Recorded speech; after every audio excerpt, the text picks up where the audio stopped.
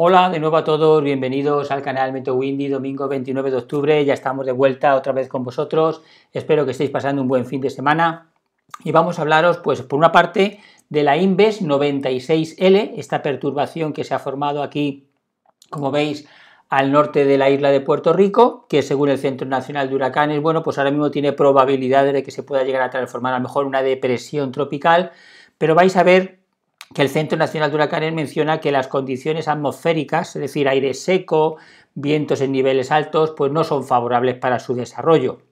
Puede que sea una depresión tropical, ya veremos a ver si al final se, convierte en la tormenta tropical Vince, no lo sé exactamente, las, previsiones de los modelos no, no, dan a que probablemente llegue a incluso a tormenta tropical, pero bueno, habrá que analizarlo y habrá que estar pendiente de ella, y de la que sí que creo que nos tenemos que preocupar es de la depresión tropical número 19 que tenemos aquí en las costas del Pacífico de América Central, que todo indica que durante el día de hoy se va a convertir eh, la tormenta tropical Pilar, si no se ha convertido ya cuando vosotros estáis escuchando ya este, este vídeo a lo largo del día.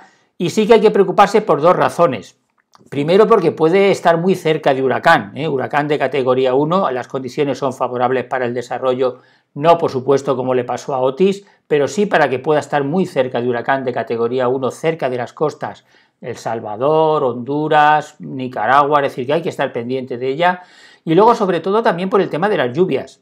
Vais a ver que su desplazamiento de momento hacia El Salvador es un desplazamiento muy lento y de hecho ya está, ya está generando, como veis aquí, por ejemplo, en el mapa del radar, ya está generando lluvias en toda la zona de la costa de El Salvador, eh, también de, Guatemala, algo también en Nicaragua, así que por lo tanto habrá que estar pendiente porque de hecho, fijaros, os tengo aquí preparados un gráfico de las lluvias que se esperan para la capital, para San Salvador, en los próximos días. Y como veis, son lluvias que realmente son, son importantes. Así que analizamos un poquito toda esta situación. Mirad, en cuanto a la Inver 96L, ahora mismo esta sería la trayectoria que le están dando los modelos.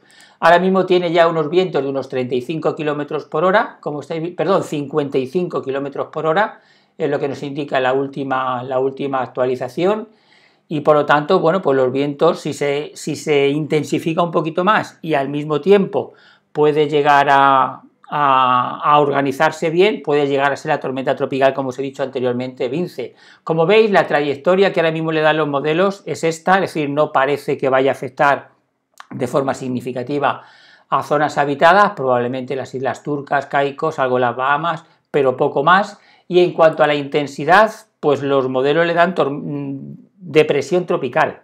Probablemente a lo mejor pueda llegar en un momento a ser tormenta tropical, ya veremos a ver si está organizada para ser una tormenta tropical y luego después se mantendría ahí entre depresión tropical y tormenta tropical. El Centro Nacional de Huracanes, como veis, le da un 70% de probabilidades de formación ciclónica y lo que nos indica es eso, que los, vientos en los niveles altos de la atmósfera son fuertes y también hay aire seco, luego por lo tanto no se espera un desarrollo especialmente importante. Así que no creo que realmente esta posible, este posible ciclón tropical vaya a ser algún problema para las zonas ahora mismo, como estáis viendo aquí, de las Bahamas o del norte del Mar Caribe. Vamos, sin embargo, ahora sí a la zona del Pacífico. Aquí sí que tenemos que estar muy pendientes de este sistema. Daros cuenta de la trayectoria tan caótica que nos menciona aquí el Centro Nacional de Huracanes. Puede ser un poco difícil de entenderlo, pero mirad, es así, es fácil de entender porque yo os lo voy a decir. Ahora mismo estaría en esta situación, a lo largo del día de hoy se va a transformar en tormenta tropical el Centro Nacional de Huracanes dice que para el martes es cuando estaría más cerca de la zona del Salvador y ahora haría un giro y se volvería otra vez para el interior del Pacífico. ¿eh? Ahí lo veis. Esta sería la trayectoria que nos indica el Centro Nacional de Huracanes. Observar un detalle, no se descarta, ¿eh? no se descarta que pueda llegar hasta El Salvador, ¿eh? no se descarta que pueda llegar hasta las costas de Guatemala, El Salvador, eh, para el próximo martes, así que por lo tanto habrá que estar pendientes de, ese, término.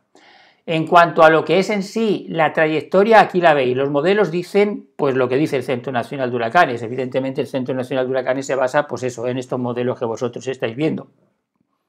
Aquí vemos de nuevo, os lo voy a poner otra vez para que vosotros veáis la trayectoria.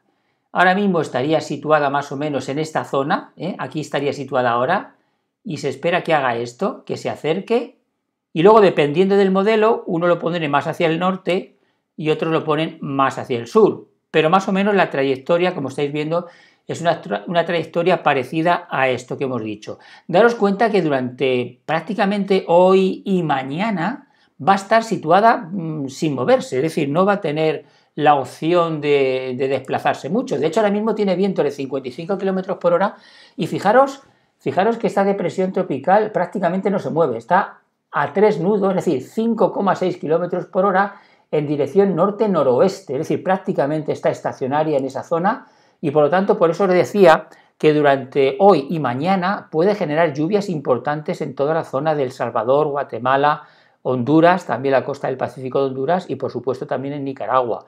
De hecho ahora vais a ver lo que dicen los modelos con relación a, a esta, a esta depresión tropical. Si os pongo la, intensidad que indican los modelos, aquí lo veis. La mayoría le dan tormenta tropical, acercándose mucho a huracán de categoría 1. Hay algunos que le dan huracán de categoría 1 para luego después descender a medida que haga otra vez el recorrido hacia el interior del Pacífico. ¿eh? Luego, por lo tanto, fijaros, si os pongo aquí, ahora mismo lo vais a ver mejor, os pongo aquí el recorrido que le da el Centro Nacional de Huracanes, observar un detalle, ¿eh? que cuando se acerque a las costas probablemente del Salvador podría estar rondando los 111 kilómetros por hora, aquí dice luego 102 kilómetros por hora, para en este caso sería el martes, ¿eh? hora local del Salvador, sería para el martes por la tarde, martes por la noche. Eh, yo viendo lo que ya os digo otras veces, eh, que, seguimos evidentemente porque nos interesa ver cuáles son las condiciones atmosféricas, veo que, que, es verdad que va a encontrarse vientos cortantes para precisamente el martes, pero sí que le veo probabilidades de que llegue a ser huracán, ¿eh? porque aquí no veo yo un viento cortante muy alto, la temperatura del océano hay aquí algunas discrepancias, pero todo indica que va a estar rondando los 28-29 grados y sobre todo mucha humedad. ¿eh? Atención a esta humedad que se ve aquí, que es más del 70%, porque esta humedad es la que puede generar muchas lluvias en toda esta zona. Fijaros que, por ejemplo, si os pongo aquí la acumulación de lluvias para los próximos días, vamos a poneroslo, vamos a quitaros ya el seguimiento de, ciclones. Fijaros cómo para la zona de, como estáis viendo aquí, de, de la costa, sobre todo salvadoreña, ¿eh? fijaros, de 160 milímetros, también en la zona de Nicaragua, Honduras, menos en Guatemala parece. Pero como veis, desde, prácticamente la frontera con Guatemala hasta prácticamente Costa Rica, lo que se espera para los próximos días son lluvias de 150 milímetros para estas zonas. ¿eh? De hecho, fijaros que aquí, como os decía antes, os tengo preparado lo del Salvador, San Salvador en este caso, la capital, y que, podría ser un, una especie de, ejemplo de lo que podría ocurrir en toda la costa del Salvador, también de Honduras, del Pacífico y también de, de la parte de Nicaragua. ¿eh? Fijaros que para hoy, por ejemplo, se espera en San Salvador de 5 a 10 milímetros de lluvia, para mañana ya de 20 a 50, para el martes más de 50, para el miércoles de 20 a 50. Así estaríamos hablando prácticamente de más, ¿eh? de más de 100 milímetros de lluvia, 150 milímetros de lluvia, con vientos que aquí nos indica que estarían rondando los 75 kilómetros por hora en la zona de la capital. Luego, por lo tanto, como os digo, mm, tenerlo en cuenta porque evidentemente ahora mismo los modelos nos indican eso, bastantes lluvias en toda esta zona debido a que va ese movimiento eh, de, dirección hacia, hacia El Salvador va muy lento y por lo tanto puede generar lluvias importantes en toda esta zona del Pacífico. Ya veremos a ver, eh, os lo actualizaré si puedo hoy bien, a lo mejor al final de la noche, ya cuando se haya transformado, al final del día, cuando ya se haya transformado en la tormenta tropical Pilar, si puedo, pues os daré a lo mejor nueva información y si no, mañana actualizaremos un poco el tema de las precipitaciones que se esperan para toda esta zona. Hablaremos también, si acaso, de la zona de Nicaragua y Honduras y, veremos exactamente qué es lo que podemos esperar. Pero aquí ya os hace una idea más o menos del recorrido que va a tener esta posible tormenta tropical. ¿eh? Ahí lo veis, un recorrido así que claramente nos indica que habrá que estar pendientes de ese recorrido si realmente se cumple y si no entra del todo, porque hay modelos, como vais a ver aquí, como el modelo europeo, que le da muy cerca, ¿eh? muy cerca también entrando de la zona de, El Salvador. Bien, pues esto era lo que os queríamos transmitir con, con, nuestro análisis de la situación ahora mismo en, el Atlántico y también en el Pacífico y muy pendiente sobre todo de Pilar porque puede ser huracán, ¿eh? puede ser huracán y puede dejar muchas lluvias en la zona del Pacífico de América Central. Nos vemos en próximos vídeos.